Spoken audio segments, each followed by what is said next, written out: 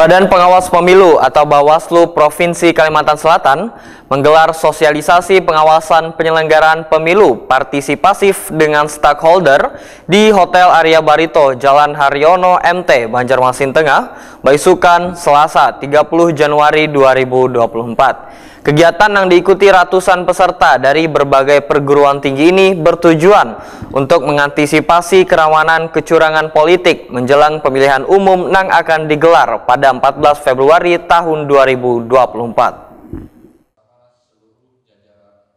Badan Pengawas Pemilu Bawaslu Provinsi Kalimantan Selatan menggelar sosialisasi pengawasan penyelenggaraan pemilu partisipatif dengan stakeholder di Hotel Arya Barito, Jan Haryono MT, Banjarmasin Tengah, besukan Selasa 30 Januari 2024.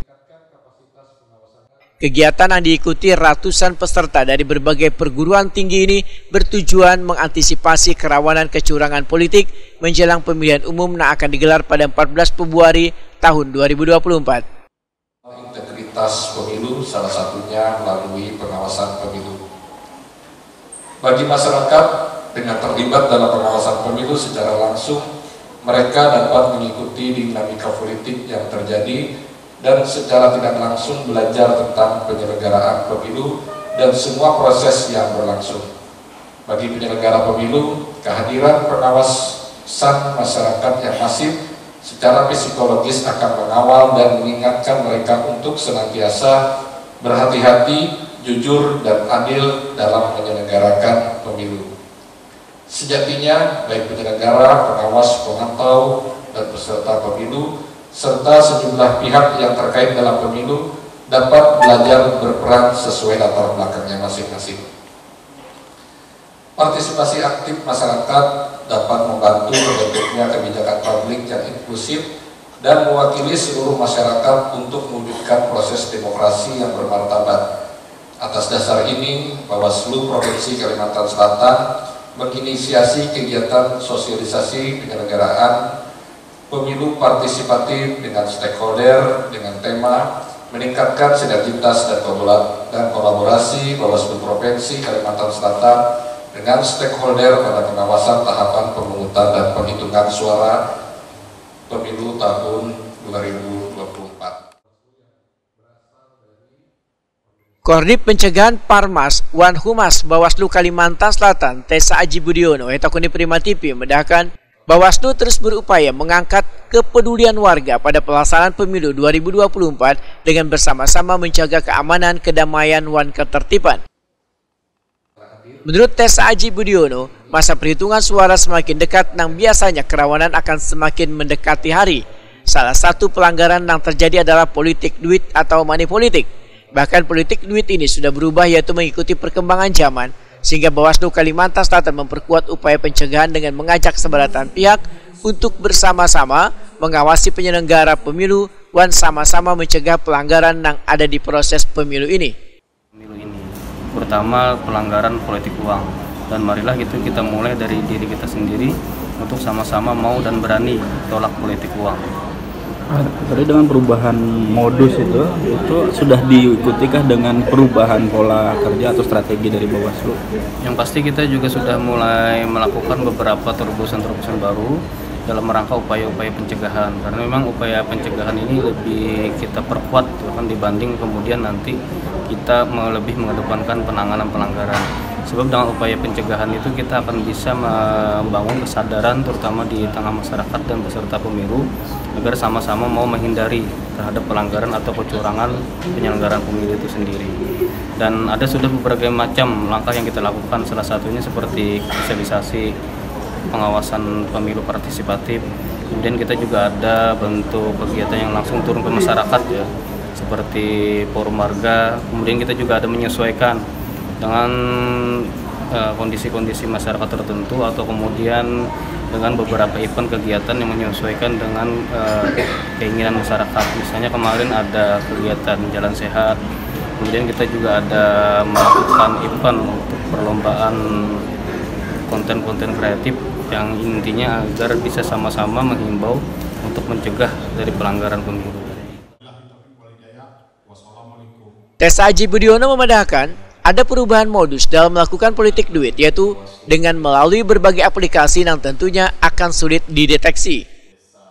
Itu apa aja itu?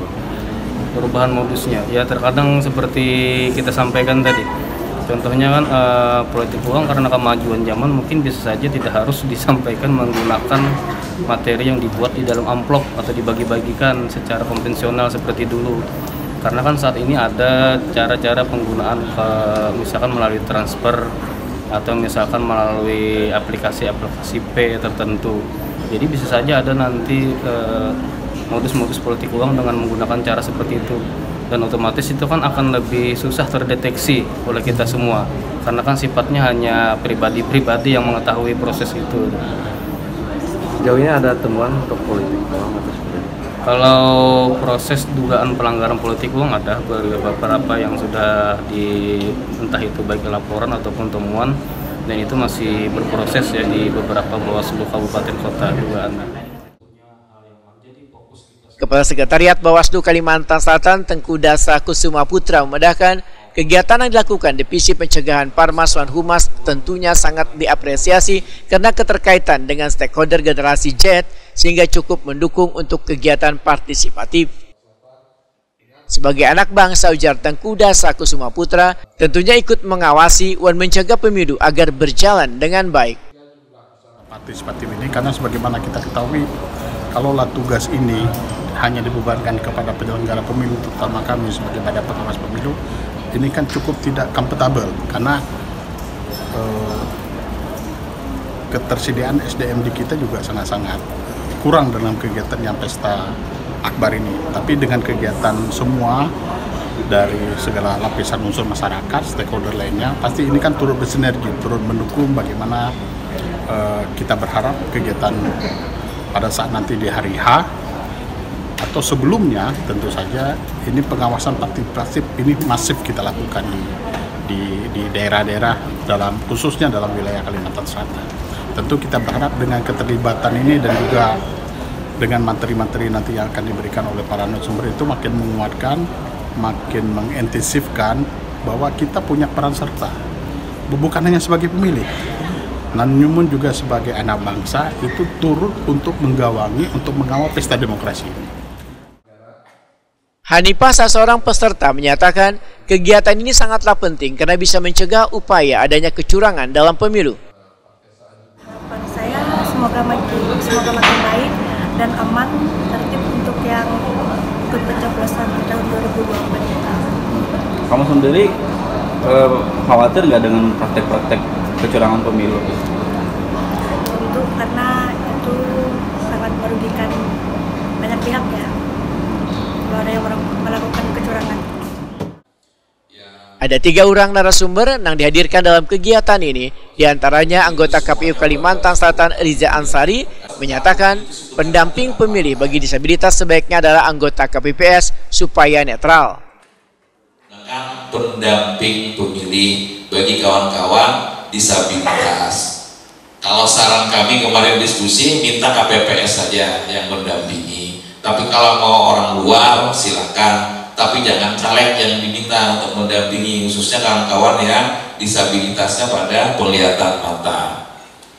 Yang jelas itu sudah tidak netral yang mendampingi. Karena kan dia cuma mencobloskan yang diinginkan oleh kawan-kawan